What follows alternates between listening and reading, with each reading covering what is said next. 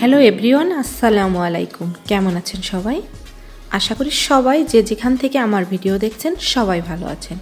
আর আমি এবং আমার ফ্যামিলির সবাই, আলহামদুলিল্লাহ, এই করোনা ভাইরাস, তারপরে মোটামুটি আমরা লকডাউনে থেকে ভালোই আছি।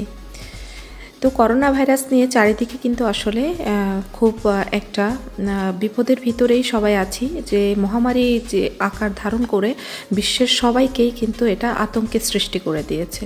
তো তার ভিতরেও নিজেকে কিছুটা ব্যস্ত রাখার জন্য, মনটাকে একটু ফ্রেশ রাখার জন্য ফ্যামিলির সঙ্গে ভালোভাবে সময় কাটানোর জন্য আর একটা নতুন রেসিপি নিয়ে আপনাদের সামনে হাজির হয়ে গেলাম, সেটি হচ্ছে ভুনা খিচুড়ি। তো আজকে আমি ভুনা খিচুড়িটা মুরগির মাংসের সঙ্গে, তিল দিয়ে মুরগির মাংসের সঙ্গে প্রেজেন্ট করছি। তো আপনারা আমার ফুল ভিডিওটা দেখুন, তাহলে ভালো লাগবে। গেলে আমার যা যা লাগতেছে প্রথমে আমি দেখে নিয়ে আমি হচ্ছে, এখানে কিন্তু আমি পোলাও চালটা নিয়ে নিই বিরিয়ানির চালটা নিয়েছি। কারণ বিরিয়ানির চালগুলা কিন্তু একটু লম্বা হয়। আর পোলাওর চালটা খুব ছোট ছোট হয়, যার জন্য আমি বিরিয়ানির চালটা নিয়েছি এটা। আর হচ্ছে আমি ডাল নিয়েছি। তো আমি এখানে আড়াই গ্লাসের মতো চাল নিয়েছি আর হচ্ছে এক গ্লাস ডাল নিয়েছি। এবং আমি চালটাকে ধুয়ে, কোনো ভিজিয়ে রাখিনি, পানিটা ঝরিয়ে নিয়েছি আর ডালটাকেও ধুয়ে পানিটা ঝরিয়ে নিয়েছি। চারটা কাঁচামরিচ, আমি হচ্ছে হাফ কাপ পেঁয়াজ আর তিন চার টুকরা আদা আর পাঁচ ছয়টি রসুন নিয়ে নিয়েছি। তো আমি হলুদ, জিরার গুঁড়া ধনিয়ার গুঁড়া, লবণ নিয়ে নিয়েছি। তো আমার ভিডিওটা কেন জানি না, একটু আচ্ছা দেখা যাচ্ছে। তো তার জন্য আমি অনেকটা দুঃখিত। আর এ হচ্ছে আমার নিজস্ব তৈরি করা গরম মশলার গুঁড়া নিয়েছি। তো আমি কিন্তু পেঁয়াজ এবং রসুনটা কুচি অবস্থায় দিব আর আদাটা আমি ব্লেন্ডার করে দিব। কারণ আমি যেভাবে আর হচ্ছে তিনটা ইলাচ আর দুটা, দুই টুকরা দারচিনি নিয়েছি। তো আমি এই খিচুড়িটা আমার আম্মার কাছ থেকে খুব ছোটোবেলায় শিখেছি এবং খুবই মজার হয় এই খিচুড়িটা সবার কাছে। ধরিয়ে নিচ্ছি এবং আমি প্যানটা একটু গরম হলেই তেল এবং ঘি দুইটাই দিয়ে দিব। তো আমি এখানে দুই টেবিল চামচের মতো ঘি ও দুই টেবিল চামচের মতো তেল দিব। আপনারা চাইলে শুধু তেল দিয়েও রান্না করতে পারেন। আপনাদের মর্জি এটা। কিন্তু আমার কাছে একটু ঘি দিলে ঘির ফ্লেভারটা ভালো আসে। তো আমি দোকানে যে ঘিটা কিনতে পাওয়া যায়, আমি ওই ঘিটাই দিচ্ছি। কারণ আমি বেশিরভাগই আমার নিজস্ব তৈরি করা ঘিটা দিই। কিন্তু আজকে আমার এটা শেষ হয়ে গেছে। তো এর পরবর্তী কোনো রেসিপি আপনাদের আমি দেখিয়ে দেবো। আমি কীভাবে ঘরে বসেই পারফেক্ট দেশি ঘি তৈরি করি।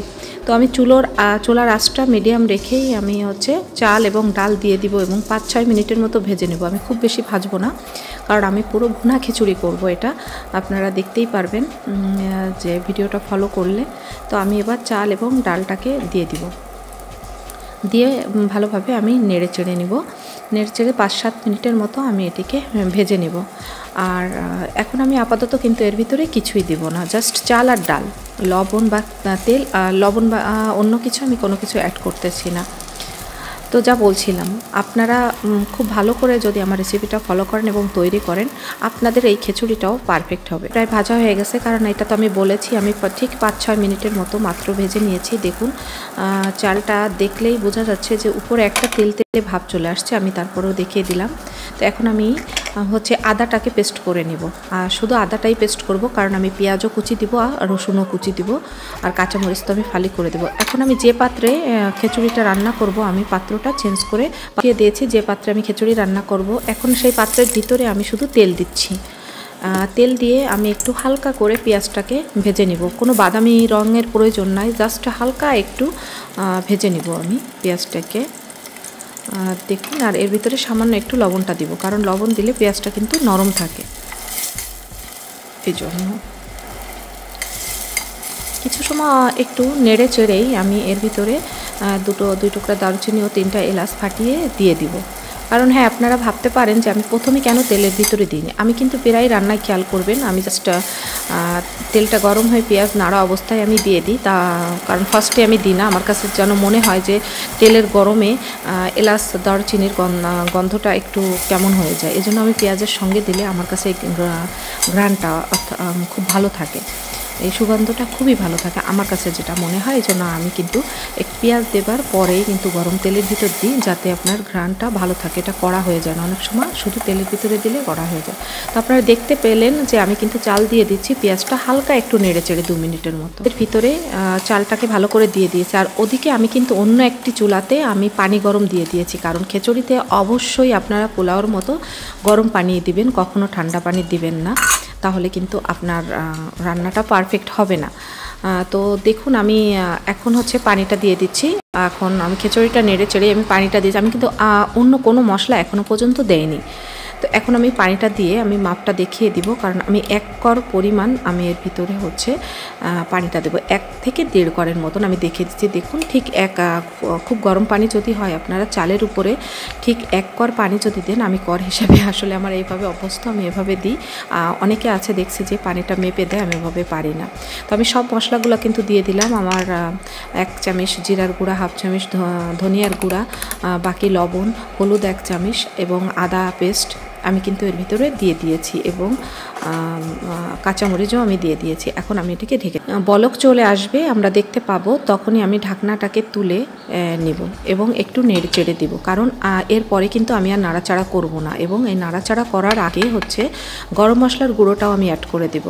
অনেকে হয়তো বা নামানোর আগ মুহূর্তে গরম মশলাটা দেন, কিন্তু আমি না। আমি ফুল কিন্তু যখনই পানি দিয়ে সমস্ত মশলা দিয়ে ঢেকে দিয়েছিলাম, তখন কিন্তু আমার আঁচটা মিডিয়াম ছিল। আর এখন আমি মিডিয়াম লো আঁচ করে দিব জালটা এবং গরম মশলা দিয়ে লবণটা চেক করে দিব এবং উপরে এখন সামান্য এক টেবিল চামচের মতন ঘিটা ছিটিয়ে দিব। দিয়ে আমি সুন্দরভাবে নেড়ে চেড়ে ঢেকে দিব, একবারে আমার এখন পারফেক্ট হয়ে যাবে। আমি প্রথম পাঁচ মিনিটের মতো মিডিয়াম লো আঁচ দিব আর এরপরে হচ্ছে আর পাঁচ থেকে দশ মিনিটের মতন আমি হচ্ছে একেবারে লো আঁচে দিয়ে রেখে দিব ভাপের জন্য।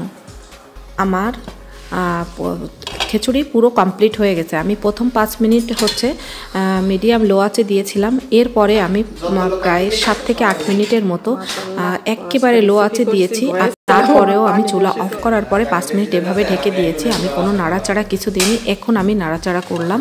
তো দেখুন, আমার একেবারে খিচুড়িটা পারফেক্ট এবং ঝরঝর হয়েছে। আপনারা যদি পানির পরিমাপ প্লাস আমার সম্পূর্ণ রেসিপিটি ফলো করে আপনারা তৈরি করেন আপনাদের খিচুড়িটাও এভাবে একেবারে ভুনা খিচুড়ি হয়ে যাবে যা হাঁসের মাংস গরুর কালা ভুনা বা গরুর মাংস ভুনা অথবা মুরগির মাংস খুব কষা ভুনা যেটা আমি আজকে পরিবেশন করেছি তিল দিয়ে মুরগির মাংস এটির সঙ্গে। তো এই তিল দিয়ে মুরগির মাংসের রেসিপিগুলো আমার চ্যানেলে থাকবে আপনারা প্লিজ দেখে নেবেন। আর আমার রেসিপিগুলো যদি ভালো লাগে তাহলে আপনারা অবশ্যই আমার চ্যানেলটাকে সাবস্ক্রাইব করবেন এবং পাশে থাকা বেল আইকনটি প্রেস করবেন তাহলে সমস্ত নোটিফিকেশন সবার আগে আপনার হাতে পৌঁছে যাবে। ও আমার এই সুন্দর একটা রেসিপি ভুনা খিচুড়ি তো আজকে আপনারা আমার রেসিপিটা ফলো করলে দেখতেই পাবেন যে আমার কত পারফেক্ট খিচুড়ি হয়েছে কালার এবং মানে ঝরঝরে ভাব থেকে আপনারা বুঝতেই পারছেন।